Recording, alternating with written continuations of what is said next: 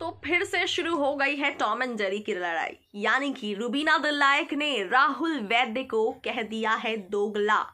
क्या है पूरी खबर बताऊँगी आपको इस वीडियो में। नमस्कार, मैं स्निग्धा, स्वागत करती हूँ आप सभी का हमारे चैनल पर। आपको बता दें कि रूबीना दिल्लायक सुबह नाश्ता कर रही हैं, ऐसे कुछ खा रही हैं। खाते खाते ये लाइव फ़ीड से मैं आपको खबरें बता रही हूँ और खाते खाते वो सोनाली फुगाट से बात करती हैं। सोनाली फुगाट राहुल वैद्य के बारे में कुछ बताती हैं और इसी बात पर रूबीना दिल्लायक बोलती हैं, वो वो दोगला है।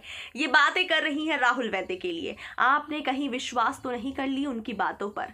जिस तरीके से सोनाली फोगाट ने कहा है कि मैंने तो सिर्फ़ सुना है, अब मुझे नहीं पता। वहीं रुबीना कहती हैं कि मैं 88 डेज़ से वॉच कर रही हूँ कि वो आपके सामने कुछ बोलेगा, पीठ पीछे कुछ बोलेगा और सामने आपकी मज़ाक बनाकर, आपको मज़ाक बनाकर सामने से हंस कर चला जाएगा। तो राहुल वैद्य की ये सामने से ऐसी आदत है, इसलिए मैं उसे दोगला बोलती हूँ। और मैं इसीलिए विश्वास नहीं करती उस पर। और ख़ास तौर पर जब भी वो मेरे सामने ऐसी हरकतें करता है, मैं सामने ही उसकी बैंड बजा देती हूँ। मैं सामने ही उसे रोक देती हूँ और सामने ही उससे बहस कर लेती हूँ और झगड़ा कर लेती हूँ।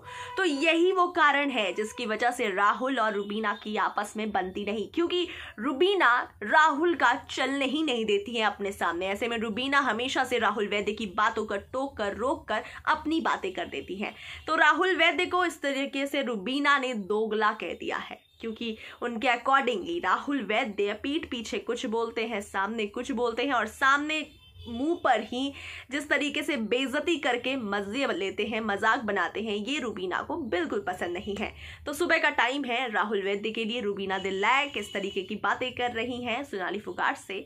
अब इस खबर पर आपकी क्या है राय? जो रूबीना दिल्लाय कह रही हैं, राहुल वैद्य के लिए क्या आप उससे अग्री करते हैं? तो कमेंट कीजिए और बताइए हमारे कमेंट सेक्शन में।